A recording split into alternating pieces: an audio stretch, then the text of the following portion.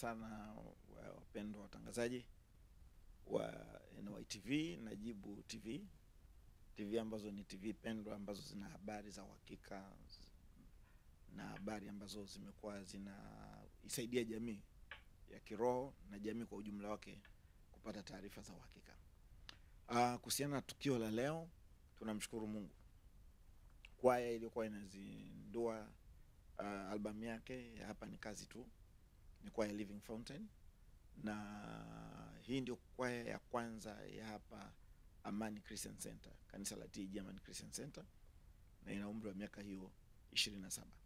Nilipokuja kuanza kan, nilipokuja kuanzisha kanisa, Mungu aliponipa kibali cha kuja kuanzisha kanisa lake hapa Tabata Amani, na wakati ukiitwa Tabata Liwiti, nili baada ya kufungua tu kanisa wiki ya pili au ya tatu e, nikaanza ku kuwaorganize wale wale washirika wachache, nikaanza kuorganize kuona tunawezaje tukawa na uimbaji. Baada ya mwezi mmoja miwili mitatu, nikakuta vijana wameanza kupata shauri, wanaokoka tukiwa watu kama kumi na basi tukaanza na watu kama wanne watano kuanza kwaya kama ulivyosikia kwenye risala yao, na Mungu alitusaidia.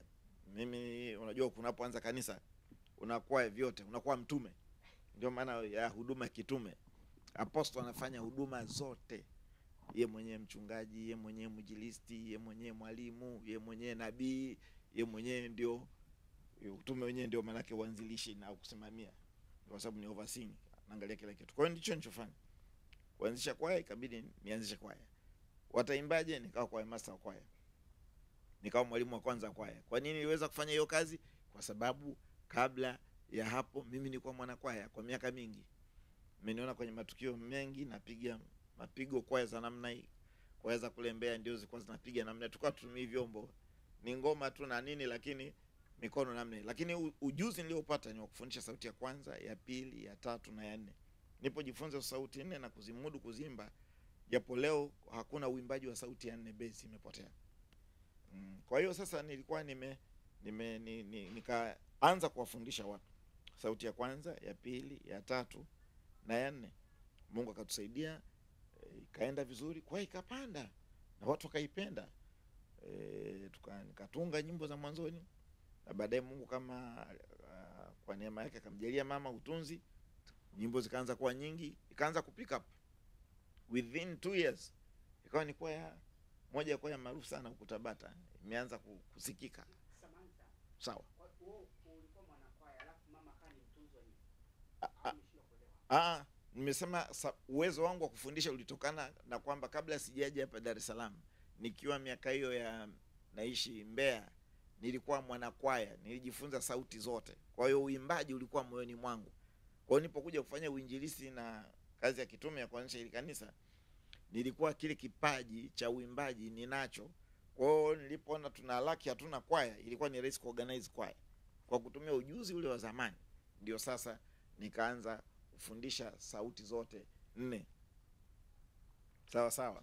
Ah, Baada ya hapo sasa ndio Mungu akatusaidia kuendelea mbele. Sasa uh, huduma ilipoanza kukua ule mwaka anaingia wa tatu, ikawa sasa si rahisi tena kuendelea na huduma, maana watu wameongezeka, wamekuwa wengi, counseling ufanye mwenyewe.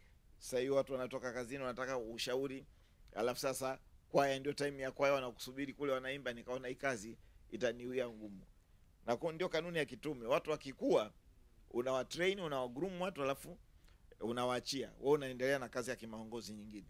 Kwa hiyo baadaye nikampata mwalimu wa pili wa kwaya ambaye alikuwa anaitwa Kilian Kilian Haule, ndio akanipokea kusimamia ile kwaya. E, na lakini mtu ambaye alikuwa professional kwenye muziki alikuwa anaitwa Fidelis ambaye ametangulia kwa Bwana. Yeye ndio alikuwa na uwezo wa kufundisha sauti zote, kupiga vyombo vyote na kadhalika. Kwa hiyo ndio sasa akatake over works. Baadaye huyu mchungaji Kilian Kilian Haule ambaye yuko hapa Msimbazi TG ni mchungaji kiongozi pale, ana kanisa zuri kubwa tu linazidi kwenda vizuri, akawa yeye mwenyekiti wa kwaya e, alafu Fidelis Anton ambaye ametangulia kwa Bwana ni mtumishi na ameondoka akiwa mtumishi akiwa huko Chanika, alienda kuanzisha kazi, yeye ndo akawa kwaya master sasa. Kwa hiyo baada hapo ndio sasa wamekuja makwaya master wengi mpaka sasa hivi nini. Na kitu kizuri e, baada ya kwaya hii kusimama na kanisa kuanza kuongezeka, nikaona kanisa hili haliwezi kukaa na kwaya moja, kwa sababu ikwaya uh, wakiwa mmoja, mtu akikosana na uongozi au akishindwa kuendana nao, anaacha kabisa uimbaji. Kwa hiyo nikapata maono ya kuanzisha kwaya ya pili, nikaanzisha kwaya ya pili ambayo tuliita Amani Victory kwaya, Ni kwaya kubwa kama hii Amani. Eh, Alafu baadaye tukaanzisha kwaya tatu uh, inaitwa New Hope, nafikiri uliona pale.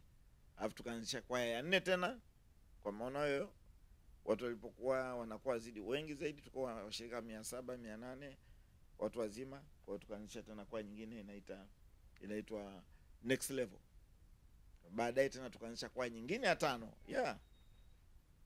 eh, eh, ambayo ni ya uh, wao wanaimba kama regerege fulani hivi na ni watu wazima zaidi, hawataki hii step za kucheza cheza kupita kiasi, wana wana pozi zao wanacheza, lakini eh, sounds wanaitwa eh, sound wanaitwa uh, sounds of glory, sounds of faith, nikawa ni ni, ni, ni, ni, ni kwaya ya tano.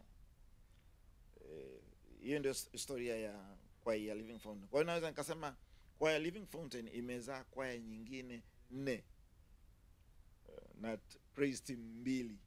Tuna praise team ya Kiswahili na kuna praise team ya Kiingereza inayoitwa Ebenezer.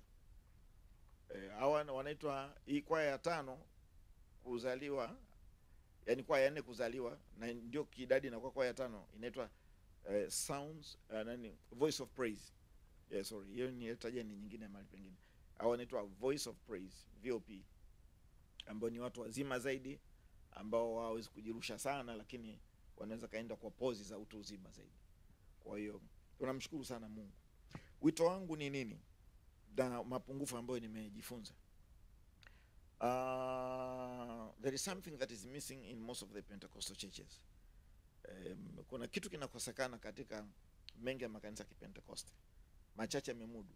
Waimbaji wengi ni watu ni vijana wadogo wadogo. Na kama ulivyoona chipkizi. Ni kama watu wakikua wanaona wao hawahitaji tena kuimba. Hiyo sio mtazamo sahihi. E, nimepata changamoto sana napokwenda makanisa kama ya kkt eh, kwaya zao nazipenda sina watu wazima kuna disiplini kubwa. Mtu anakuwa ni jaji bado ni mwimbaji. E, ni ni rasi bado ni mwimbaji wa kwaya ni afisa fulani ni mfanya biashara mkubwa ni mwalimu ni profesa lakini bado ni mwana kwaya na anamsikiliza mwana kiongozi kwaya master mtu mwingine. Cha pili nikajifunza wao wana pia wana kwa master wanaojitolea. E, ambao hawalipwi lakini wanachaguana kule kule kwenye kwaya kwa sababu wana ujuzi na vipaji mbalimbali. Kwa hiyo nikaona kwamba hata uovu mwingine hautokei kwa wepesi katika kwaya zenye watu wazima kwa sababu makemeo maonyano yanakuwepo kwa urahisi zaidi. Kuliko wakiwa vijana tu wadogo chipkizi alafu watu wakisha kuwa na umri mkubwa kidogo wakioa wakiolewa wanaacha kwaya they go away. Sasa hiyo inasababisha hawa wanaokuja ni wachanga hawana kuangalia malezi na makuzi ya kiroho yanapungua nguvu yake. Kwa hiyo hicho ndio nimeona changamoto katika hizi kwaya. Hatuna watu wazima wengi. Of course wapo kiasi lakini hatuwezi kujifananisha na kwaya kama za nizoziona huko kkt anglican inapokwenda katika mikusanyiko ile pamoja na naona kwaya nyingi zinakuja na shangaa. Na kuna kuwa na discipline nzuri sana. Na zile kwaya zinazidi kukua kwa sababu ni kama wanarithishana vile vipawa na vipaji na haionekani kama kwaya ni ya vijana tu ambao hawana future hapana. Hicho ni kitu cha pili. Lakini nazungumzia changamoto e, ambazo ndio ndio wito wangu kwamba no something should be done. Lazima tufanye kitu fulani. E, viongozi wa kiroho kama makanisa hasa ya kipentekoste wale ambao wana matatizo kama hayo. E, la pili e, changamoto ya pili ambayo nimeiona uh, utulivu. Utulivu. E, kwaya nyingi na hata hili umeliona kidogo hapa wakimaliza kuimba. Tulikuwa na kwaya kumi na sita leo just imagine kumi na sita. Lakini unaweza ukaona kama baada ya kishaimba wanatoka na kanda yao nje wanaondoka wakimaliza kuperform watoa bahasha yao nje wametoka. Ni kama ile ile ile ile kusudi la kuwaita linakuwa lija timia wamejaa mpaka nafasi ya kutosha chini wakaenda juu nikapanda nikakuta safu ya kwanza ya ghorofani ya hapa katikati ya huku pembeni. Nikashangaa zote zina watu vizuri. Yeah. lakini kashangaa ilipokuja sasa wamemaliza kuimba mgeni rasmi anasimama atoe neno maelekezo na kuandaa watu kwa ajili ya uzinduzi na uchangiaji. Ikawa kama mpira ulikuwa umejaa upepo sana alafu ghafla una upepo unapungua alafu wanabaki watu wachache. Lakini namshukuru mungu wamefanya vizuri sana na zimepatikana hayo milioni ambazo zimetolewa na watu ni reliable na naamini kwamba itafanyika vizuri. Kwa hiyo wangu bado pia ni kwamba kwaya ni vizuri ziwe na utulivu zinapoalikwa kwenda mali ziwe na utulivu zitimize kusudi ambalo zimeliendea. Kwa sababu zinajua sio game la kubadilisha gia hewani anga, wanasema kubadilisha gia hewani au angani. Inajulikana unaenda kwa ajili ya kumtia moyo au kuleta faraja au changizo au nini. From the beginning the agenda is well known. Eh, kwa hiyo hakuna haja ya kubadilishia.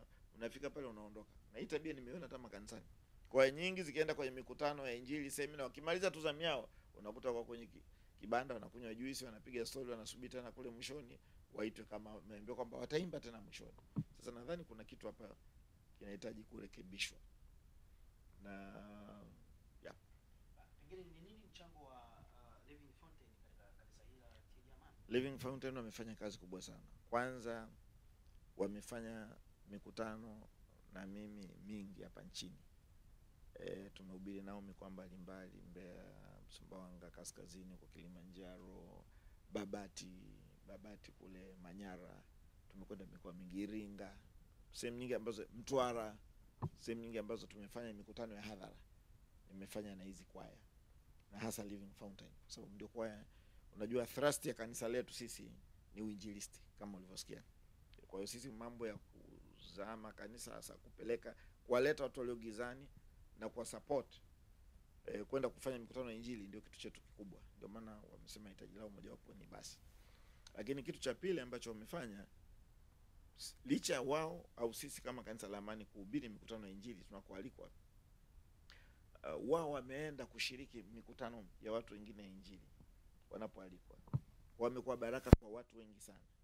Na nafikiri moja mwitikio mkubwa umeona kwa zote zimekuja maana tulisema sasa zikiwa nyingi sana tunashindwa ku accommodate na wote wamerespond. Kwa sababu na wao wakialikwa huwa wanatoka. Kwa hiyo wanakuambia kama unatoka kwenye misiba wenzako na harusi za wenzako na wewe kwenye harusi yako msiba wako watatoka wengi. Ndicho kilichofanyika. E, kwa hiyo nafikiri mchango wao mkubwa wa pili ni ku, ni, ku, ni kuwapa support watu watumishi wengine wa uimbaji wanapokuwa na zamu zao za mikutano semina au matukio ya kijamii ambayo wana- wanahitaji sapoti yao wamekuwa waaminifu ni mchango wao wa pili. Lakini mchango wa tatu ni kuwagurumu watu wengine kuwa waimbaji. E, wana huwa wanakuwa na kipindi fulani living fountain wanafundisha watu wachanga ambao hawana sauti hawana skills za kuimba wao wanaandaa program. Wanaweza kawafundisha kwa miezi mitatu. Na hilo jambo ndio limesaidia kwamba kanisa kuwa na waimbaji wengi.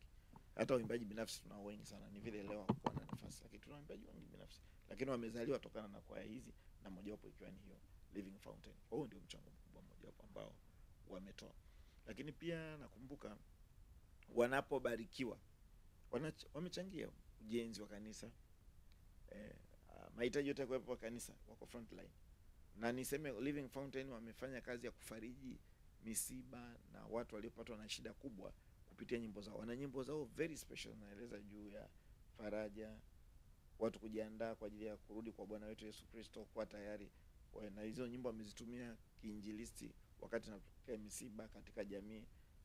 Na sisi tumekuwa tayari kumzika mtu ambaye hana mtu wa kumzika hata kama sio mwamini. Kwa sababu tunachukulia kwamba ule ni uwanja wa injili bure. Ni mkutano ambao hauna gharama. Gharama yetu sisi ni kwenda kumhubiri yesu na kushuhudia. Mtu mwingine aliokotwa mahali nakumbuka aliletwa hapa nikaambiwa ndugu yake akaniambia ameuawa huyu. Hakuna mtu wa kumzika. Nikaambia no, no, mimi niko tayari kumzika mtu yote akiniambia kwamba hakuna wakumzika wanite tu mradi niwe na available. Mimi mimi sizungumzie habari za marehemu. Mi nazungumzia juu ya wale watu walio hai wanaohitaji faraja. Tapa faraja ya bwana lakini nitazungumza neno la mungu na kutumia kama e, mkutano wa mavuno kuwaleta kwa yesu na kuangaza nuru ya kristo yesu katika maisha yao